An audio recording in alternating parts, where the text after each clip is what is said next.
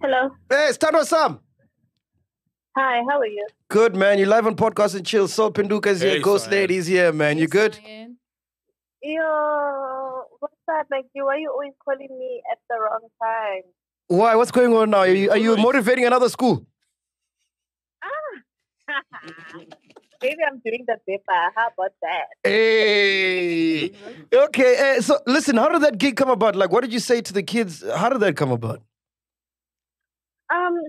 So I realized, okay, I, I'm just gonna have two minutes, okay? Yeah, sure. Yeah, so I realized that more than anything, more than the drama, a lot of people really look up to me because of the strength that I have. So I have my, my grandmother who is a teacher, an English teacher. Hold For on. the grade seven. Hold on, Cyan. Hold on, Cyan. Wait, Okay. Okay, we're at the part where a lot of people look up to you. You realize that, and then No, guys, relax, relax. Don't convince yourself with the last. Listen, and then you understand. yeah, yeah, that's what I want to And do. Yes.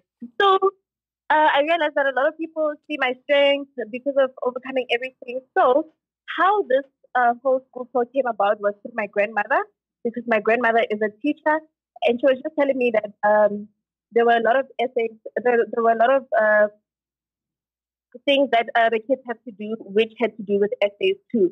So most of them writing essays about uh, their favorite artists or their favorite like inspiration or whoever they really look up to and why they look up to them.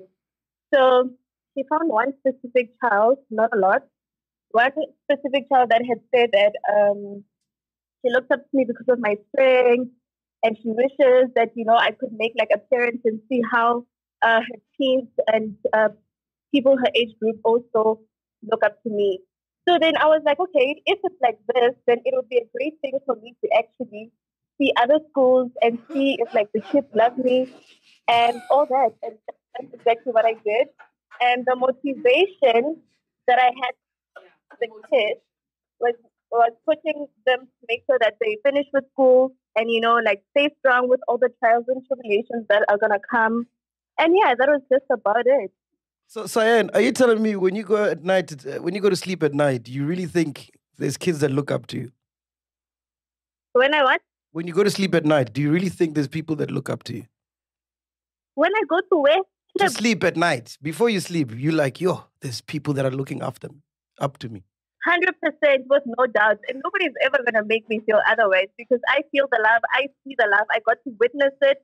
Maybe you guys were trying to make a joke about me going to the schools, whatever, but actually, I witnessed it myself. I got to see how kids love me. If you can see a child crying over seeing Cyan Boujee, that means that you know what they actually look up to me. They see the greatness that I have, the strength that I have, and maybe they just wish that they could be the same way as I am. Cyan. So, at what point then, the, how do you get to twerk then? Like, because we saw a Sorry? video of you twerking on stage. How did that come about? So um, it's it's school bashes, right? So for this high school kids, they're having school bashes, and I think a specific grade, maybe matric or whatever. Um, so obviously at a bash, they expect uh, artists to come. So we had a lineup. It wasn't just me coming to give motivation, but it was a lineup. We had Soweto's finest. We had all the other people that had to come and dance. And yeah, I was also part of that. But unfortunately, because I'm the bigger brand, I had to train for what everyone else did. The bigger So that is the brand. consequence.